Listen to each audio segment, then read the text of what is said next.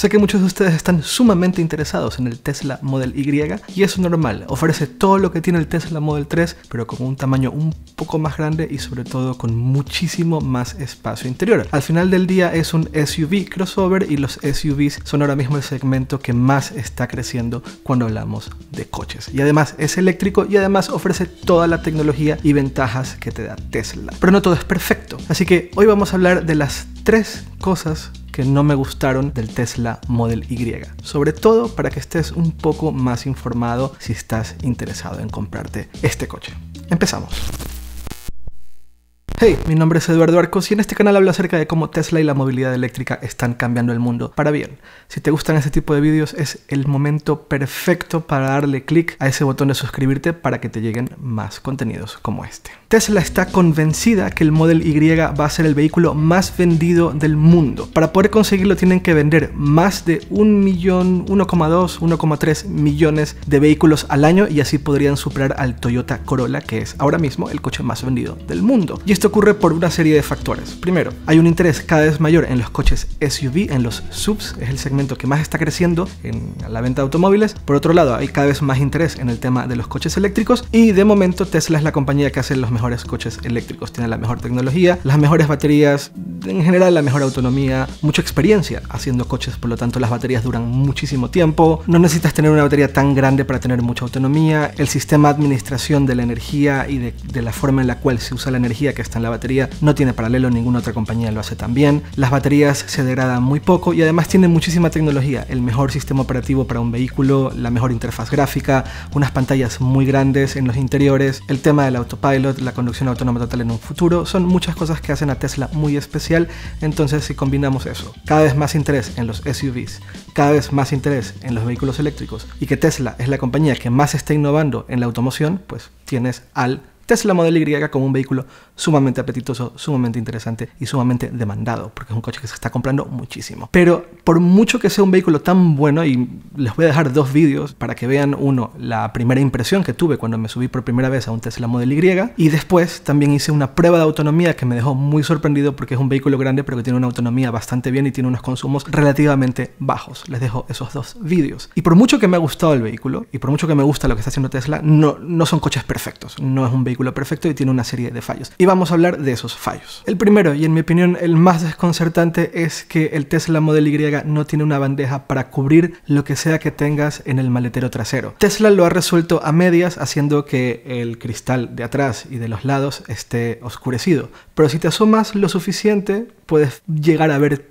ciertas cosas que están en el maletero trasero. Y es desconcertante porque es una cosa muy simple que prácticamente cualquier SUV con un maletero tan grande suele tener, una bandeja que cubra todo lo que hay en el maletero, casi que por seguridad. Hay algunos fabricantes de accesorios para Tesla que han hecho soluciones intermedias, que es una bandeja que puedes poner y quitar. No es del todo práctico, pero afortunadamente parece que Tesla lo ha resuelto. Un vídeo publicado en Twitter muestra un Tesla Model Y entregado en Hong Kong que viene con la bandeja para cubrir el maletero trasero. Tiene un sistema bastante simple con imanes para hacerlo retráctil, para echarlo para atrás, para echarlo para adelante, para recubrir por completo y de esa manera Tesla aparentemente va a solucionar este problema que es lo primero que no me terminó de gustar del Model Y. Antes de continuar, este vídeo es posible gracias a Surfshark, que es una VPN que te permite estar más protegido a la hora de navegar, sobre todo cuando lo estés haciendo en lugares que no sea tu casa o tu trabajo, por ejemplo si decides irte a trabajar a una cafetería o si estás en un aeropuerto, los VPNs te protegen bastante importante para poder navegar de forma completamente segura sin que tengas miedo de que alguien esté espiando en lo que estás haciendo. Además del tema de la seguridad, las VPNs ofrecen algunas ventajas extra. Les voy a mencionar dos que en mi opinión son bastante interesantes. La primera, te permite conseguir tickets de avión o habitaciones de hotel a precios menores. ¿Por qué? La mayoría de los lugares donde se compran pasajes de avión o donde se reservan hoteles cambian los precios basados en el lugar en donde estás y una VPN te permite elegir desde dónde quieres conectarte. Entonces, pues decirle, estoy en Estados Unidos, o estoy en Francia, o estoy en Alemania, o estoy en España, y puedes observar el cambio de precios. Lo mismo con Amazon incluso. Otra gran ventaja que le veo a las VPNs es la posibilidad de acceder a los catálogos de otros países de algunas de las plataformas de streaming más populares como Netflix, HBO Max o Disney Plus. Igual, te conectas de diferentes países y vas a poder observar y ver el cambio en los catálogos en estas plataformas de streaming y poder acceder a más contenidos. Surfshark está ofreciendo a ustedes quienes están viendo el vídeo un descuento del 83% y 4 meses gratis. Esto es una oferta especial por la época en la que estamos en el año, no va a durar para siempre. Para poder obtener el descuento y esos 4 meses gratis debes de acceder a la web que te aparece ahora mismo en pantalla y usar el código de descuento Eduardo. Muchas gracias Surfshark por patrocinar este vídeo. Continuamos. Lo segundo que no me gusta del Tesla Model Y, y estoy seguro que no estoy solo en este segundo punto, son las llantas de 19 pulgadas Gemini. No entiendo. La verdad es que no entiendo cómo a un vehículo tan bonito le tienen que poner unas llantas tan feas. Las llantas aero de 18 pulgadas que están en el Tesla Model 3, que en realidad no son llantas, son unos tapacubos que lo que hacen es incrementar la autonomía del vehículo, sobre todo cuando estás en viajes, son bonitas, se ven interesantes, pero las llantas Gemini, los tapacubos de las llantas Gemini de 19 pulgadas del Tesla Model Y son bastante feas. Afortunadamente hay tres soluciones. La primera, quitar los tapacubos, la llanta en sí misma de 19 pulgadas de los Gemini o de 18 pulgadas de los Model 3 sin tapacubos es bastante bonita por sí misma. La segunda solución es actualizar a las llantas Induction de 20 pulgadas que vende Tesla, pero tienen un costo extra de 2000 1.100 euros y además reduce ligeramente la autonomía, de 537 kilómetros a 507 kilómetros según el ciclo WLTP. La tercera solución es una solución bastante creativa y la está haciendo un fabricante de accesorios para Tesla que se llama Remetrix. Ellos han diseñado un tapacubos para las llantas de 19 pulgadas Gemini del Model Y que se llama Laminar. Ofrece las mismas ventajas del tapacubos de la llanta de 19 pulgadas, pero es mucho más bonito. Es de color negro y creo que se integra mucho mejor al diseño del Model Y.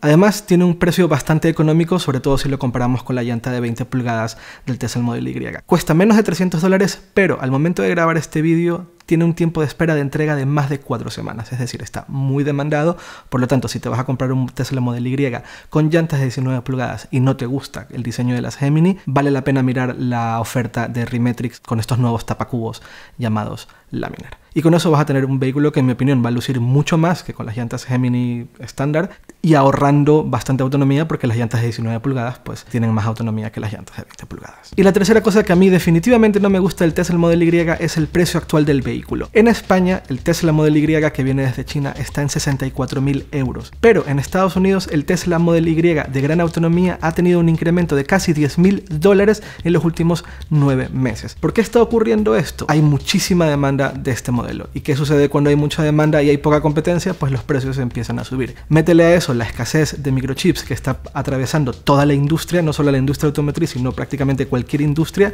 entonces es cada vez más difícil construir estos vehículos. Por lo tanto, mucha demanda, dificultad de construcción, falta de componentes, ¿qué hace? Aumenta el precio del vehículo. Entonces, el Tesla Model Y hace nueve meses costaba 10 mil dólares menos de lo que cuesta actualmente en Estados Unidos. Y ese es el Tesla Model Y que se fabrica en Fremont. El Tesla Model Y fabricado en China que viene a Europa, en España tiene un precio de 64.000 euros, que es 4.000 euros más que prácticamente todos los demás países de Europa donde se vende este vehículo. He estado mirando los precios en algunos otros lados. Por ejemplo, en Francia tiene un precio de 59.990 euros, pero además tiene un descuento de 2.000 euros más por el bono ecológico. El vehículo se queda en 57.990 euros. En Italia tiene un precio de 60.990 euros. En Alemania tiene un precio de 57.490 euros. Y además en Alemania también ofrecen un incentivo por comprar un vehículo eléctrico de 2.400 euros. Por lo tanto, si sumamos los 1.000 euros a la tasa de entrega y documentación que pone Tesla, el vehículo en Alemania con ese bono ecológico se queda en 56.070 euros, que no está nada mal. Y eso es 8.000 euros menos de lo que se vende aquí en España. No tengo muy claro por qué en España el vehículo tiene un costo más alto. No sé si es un tema de logística y la dificultad logística que representa el traer estos vehículos hasta España, considerando que no se terminan de vender a un volumen lo suficientemente alto como por ejemplo en Francia, en Alemania o en Italia. No tengo idea si se trata de eso o no tengo idea si se trata de alguna otra estrategia económica o comercial por parte de Tesla, pero la realidad es que en Europa el vehículo tiene un precio, en mi opinión, 4.000 euros demasiado alto. Aún así, creo que el Tesla Model Y va a bajar de precio y va a adquirir prestaciones, sobre todo más autonomía, una vez que el vehículo se fabrique en la Gigafactory de Tesla, cuando integren la batería estructural y esta batería 4680 que tiene más potencia, más autonomía y es más barato de fabricar. En mi opinión, este vehículo podría tener un precio de entre 55.000 y 57.000 euros aquí en España y Tesla estaría obteniendo una muy buena ganancia por cada vehículo fabricado. Pero para que eso ocurra tienen que hacerlo en Berlín y los vehículos fabricados en Berlín no van a llegar probablemente hasta antes de octubre del 2022. Espero equivocarme y espero que sea antes, pero todo indica que hasta octubre, noviembre del 2022 no vamos a ver una producción de gran escala del Tesla Model Y en Berlín. Para las personas que me están viendo desde México, Estados Unidos o Canadá, la situación es relativamente similar. El Tesla Model Y va a tener un precio relativamente menor y va a haber más unidades disponibles para la venta una vez que arranque la producción de la Gigafactory en Austin. Ahí también van a construir el Tesla Model Y con la batería estructural, esta batería 4680, que insisto, es más económica de fabricar y tiene un poco más de autonomía y más potencia. Además, va a hacer que el vehículo pese menos también y eso le va a dar más autonomía. La Gigafactory en Berlín y la Gigafactory en Austin, Texas, son las dos fábricas de Tesla que van a hacer el Model Y de esta nueva manera, de esta nueva forma de fabricar el vehículo con la batería estructural. Pero para que eso llegue tenemos que esperar hasta pasado la mitad del 2022, una vez que ambas fábricas sean capaces de producir coches a gran escala. Y no mucho más, son tres grandes críticas al Tesla Model Y, en mi opinión, el peor problema por el cual está atravesando ahora mismo el vehículo es el precio. Creo que ese precio puede reducirse y creo que veremos en los próximos 12 meses medidas por parte de Tesla para poder conseguir bajar el precio y para poder conseguir fabricar más unidades, siempre y cuando la escasez de microchips y la escasez de componentes se empiece a apaciguar y eso no sabemos cuándo va a ocurrir. Y eso es todo. Muchas gracias por ver este video. Recuerden que me pueden seguir en redes sociales. Soy arroba earcos en Twitter y en Instagram. Y los voy a dejar con otro video. La prueba de autonomía que le hicimos al Tesla Model Y aquí en España es el modelo que es fabricado en China, pero que sorprende mucho por sus bajos consumos. Nos vemos muy pronto. Chao.